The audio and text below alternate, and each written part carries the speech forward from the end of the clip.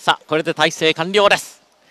スタートしました。揃いました。外。モンローブロンドいいスタート。しかし内の角馬上がってまいりました。まず中をついてテームチラさん先頭で首から半馬身のリードを取りました。大外からはキャントンガール差を詰めて一気に2番手前に並んで第2コーナーカーブから向こう上面に入っていきますがキャントンガールわずかに先頭に立って向こう上面に入りました。半馬身のリードを取りました。2番手にはテームチラさん。2馬身差がついて3番手鹿島フラワー4番手の圏内は内からはエリモファイナル上がってきて半馬身差がついてマイネデセール。あと2馬身差がついてアンブロワーズが行きました。2馬身差行為3番ラインクラフト7、8番との位置、インコースを回っては萩野小町、半馬審査がついて、デアリングハート、サガナイツイスは時代と、その内を回っては湘南パントル、後方から1馬審査、モンローブロンド外、インコースを回って9番のエンシンハッピーです。後方からはライラプス、後ろから4、5頭目の位置、内を回って黒エリ城、その後1馬審査がついてコスモマーベラス、そのうち半馬審査がついてリバプール後方追走しています。あと2馬審から3馬審査11番、ミラクルコンサートの展開、各馬3、4コーナー中間地点、これから600メートル標識を今通過していきました。